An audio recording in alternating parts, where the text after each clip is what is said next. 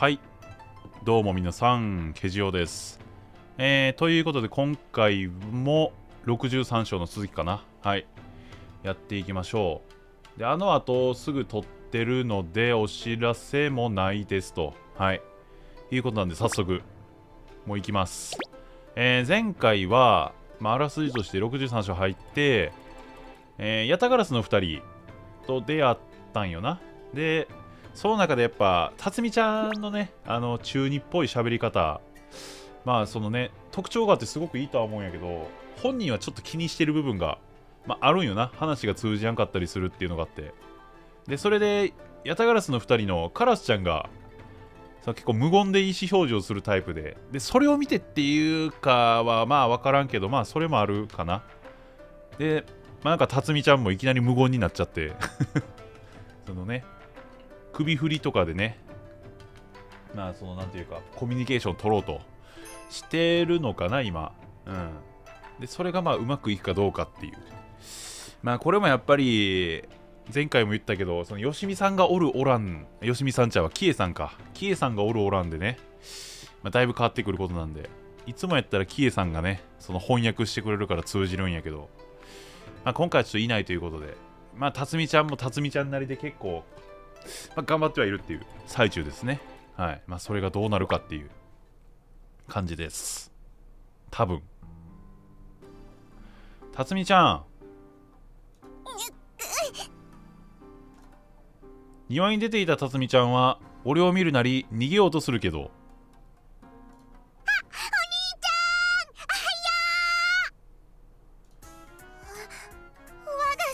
やっぱそうやな和菓子 なるほど。これ多分カラスちゃんに言ってるよな。でそうなんかカラスちゃんにもちゃんと声つくようになったよな。今までなかったよな本編とかでもカラスちゃんに。カラスちゃんのコクコクとかこういう反応だけでボイスなかったんやけど今までって。で X からカラスちゃんにもボイスついてんやけどなくて。これ今回このショーからやんな多分。今までカラスちゃん出てきても確かボイスなかったはずやからあんまり。だからそういう点はありがたいよな。だいぶ分かりやすくなっとる。こっちをこっちに向けてブンブンと手を振るスズメを見つけるなりそちらに走り寄ってしまう。スズメが師匠？どういうこと？死こそがあ。我が求める姿まあスズメちゃんではない。全然分かってない。スズメじゃなくてカラスみたいだな師匠。まあ しゃあないやろ。何何何その反応は。あテンションの高い辰巳ちゃんにカラスが怯えてる。なるほどな 震えとる。カラスはそのまま俺のところに走ってくると俺の腰にキュッとしがみついてきた。びっくりしたよな。よしよし。本当にただ怯えてる。いやでもカラスちゃんでもやっぱいいよな。このいやさらに良くなったなこの声がつくようになって。だいぶ分かりやすくなった。ずるーいスズメもお兄ちゃんに甘えろはいはいスズメもおいで。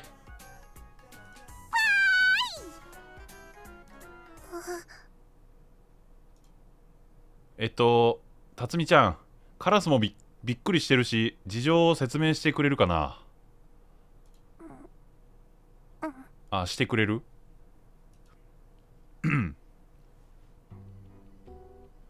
辰巳ちゃんはカラスの真似をしてたんだってさ。まあやっぱそうよな。前回もそうじゃないかなっていうまあ言ったんやけどまあそうよな。そのやっぱ意思表示っていう、まあ、まあ意思表示の一環というかまあそうやな。種類ではあるからなこういうそのカラスちゃんみたいな意思表示をする子っていうのも。改めてみんなで朝ごはんを食べながら俺はスズメたちと解読した辰巳ちゃんの事情を梅たちに説明していた。事情でしたか？ねえお兄ちゃんはすごいよね。まあでもカラスちゃんのあれが通通じるのもスズメちゃんのおかげなとこあるけどな。たまに嘘つくけどスズメちゃん。たまに嘘というか違うこと言うけどまあ大体合ってるからな。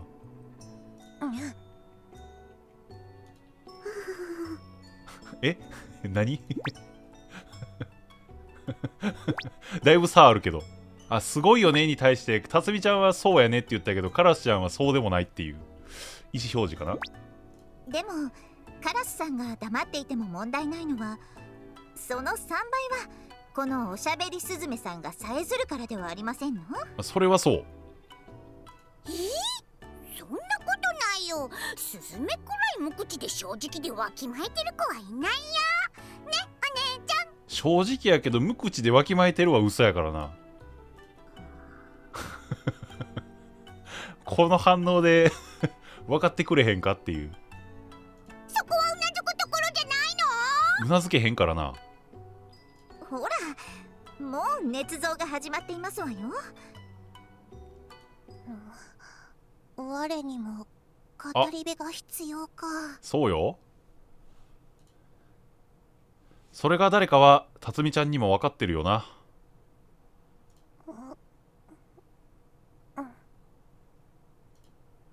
俺の問いに辰巳ちゃんは小さくうなずいてまるで表情を隠す隠すように茶碗のご飯を書き込み始めるのだった。やっぱそうよ。うん。代わりはいないんやから。関鍛冶の見学も終わり俺俺たちはひとまず岐阜城へ戻ることになった。んだけど。ねえねえお兄ちゃん。あ。これ決めてくれた？そうやん そういえばそれあったな。俺のそばから離れないのはお礼コールを繰り返すスズメだ。さすがにカラスは気を使ってくれてるのか少し離れたところで馬を歩かせてるけど。っていうかスズメはスズメでこの合間で馬を歩かせるとか器用だな。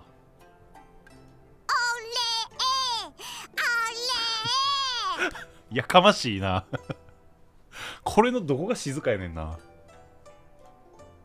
そう言われてもな。当たり前だけどしてないことに対する礼なんて受け取れない。やっぱりクオンかワカナに何とかしてもらうのが筋な気がするんだよな。前も言ったけどやっぱり3ワカの 2人に決めてもらった方がいいと思うけどな。ワカナちゃんがダメなんやったら。うん。それやったら一番近いの3ワカの2人やでな。ワンコちゃんとひなちゃん。ほらほらスズメさん。ハニーが困っていましたよ。梅は何かいい案はない？そうですわね。あでしたらしばらく辰巳様にカラスさんたちあの振る舞いを教えるというのは。なるほどな。と師匠！カラスちゃん何も言ってなくない？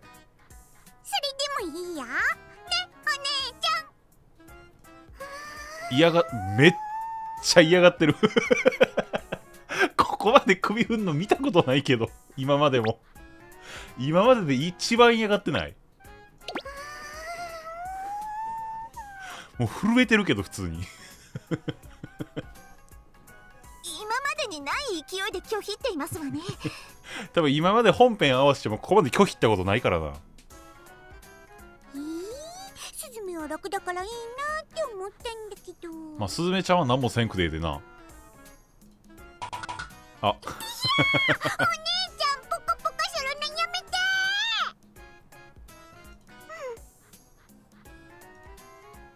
そんなに嫌かカラス。まあカラスちゃんもそのだいぶ引っ込み思案な子やからそういう教えるとかはまああんまりなんやろうな。かなり引っ込み思案その辰巳ちゃんも人見知りかもしれんけど多分それ以上に人見知りやと思うから。うん。まあ内緒では触れぬと申しますし。この2人は結構合いそうやな。本当にしてほしいことってないの？お兄ちゃん。俺としては雑賀衆とは今後も連合の一員として仲良くしてもらえば十分だしなそれはスズメたちも同じだし今更だよね。あもしかしてお兄ちゃんヤタガラス州の雇い賃を負けてとか。いやいやそれはない。対価はちゃんと払うよ。よかった。それこそ命を懸けて戦ってくれてる傭兵に対する侮辱だろう。まあそこはやっぱねちゃんとまあその親しき中にも礼儀ありというかね。そこはちゃんとせなあかんよな。いくら嫁嫁っていうか連合に参加してくれてるからっつってね。そこは甘えたらあかんよな。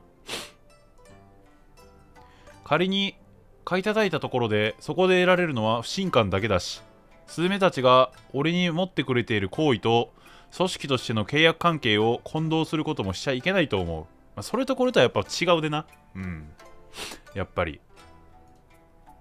世知辛い言い方をするなら信頼は金で買えないけど金払いのいい客は信頼させるされるし金の切れ目は縁の切れ目なんだよな。まあそうやな。とりあえず岐阜に戻ったらユイナに話してみるか。まあそれが一番硬いな。ここがクオン殿の。あ屋敷か最近マジで見ることなかったよなクオンちゃんの屋敷。本編の最初の方とか結構来てたから。うんだいぶ見てたけどもうだいぶバタバタしてて来ることないからな。久々に見たわ。ここでもテンション上がっちゃうのか辰巳ちゃん。そら憧れてる人の家はな。別やろ。かの地こそ何人たりとも立ち入れぬ真の聖地なり。一般人が絶対に入れない場所なので上がります。まあ一般公開はされてないでな。久遠ちゃんちやから。うん。というわけで岐阜のクオンクオン屋敷に戻ってきた俺は一行を連れてユイナのユイナに例の話を持ちかけていた。やっと帰ってきたと思ったら例によって面倒ごとね。面目ない様はスズメたちにしてほしいことってないですか？うーん。最下集の話はクオンから文があったけどああ。私も別に頼むことはないのよね。ユイナちゃんは特にないよな多分。いきなり言われてもって感じよな。傭兵の2人に何かないって言われてもな。強いて言えば今後とも今の関係でいてほしいくらいかな、まあ健介君と一緒よなそこはもお兄ちゃんと同じことよ。けどお金も物資も今のところ足りてるしね。まあそうよな。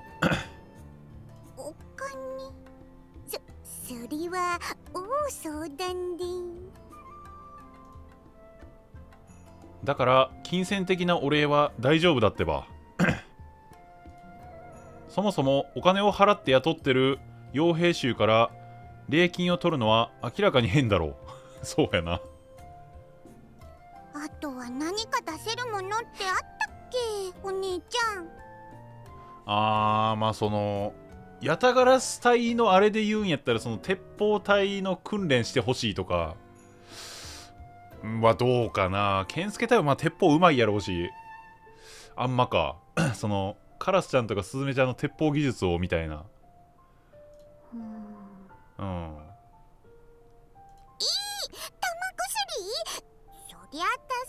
わけじゃないけど。玉薬こそヤタガラス隊で活用した方がハニーや連合のお役に立てるのではありませんの？まあそうよな。俺もそう思う。そっか。やはり我が師として。それは本当に嫌なんやもんな。もう怯えてるからな普通に。し？ちょっと面白いことになってるから後で話すよ。何がおもろいねんて？こっちは大変なんやぞってか。とカラス俺までそうしてくるのか？面白がってへんで助けろってことか？これは。まあポカポカ叩いてくるのもスズメが言うほど痛くはないし可愛いから別にいいんだけど多分力変えてるよなこれ カラスちゃんに対しては結構ガチで殴ってない。だ。ったらお兄ちゃんスズメたちに赤ちゃん仕込んでいいよ。お前ここでそれ言うのやめろ。ここでそれ言うのはマジでやめろ。お兄ちゃんもいいよね。いいんやな？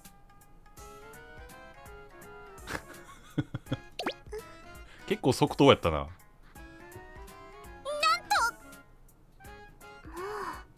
まちょっとスズメケンスケもそんなにやけた顔しないの。あしゃあないわなこれはでも。ししてないってば。さんそもそもそれはお礼どころか災禍の利にしかなりませんわよね。ちー残念だったねお兄ちゃん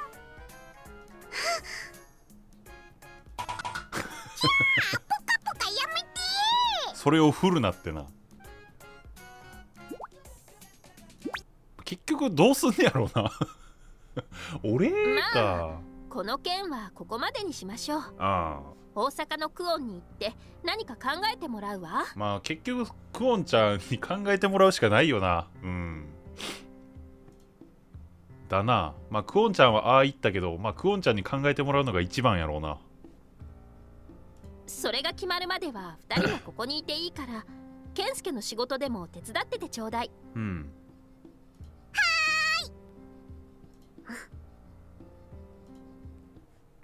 でそれが俺には？ないからね。なんでやねん。ええやん。よくない？別に。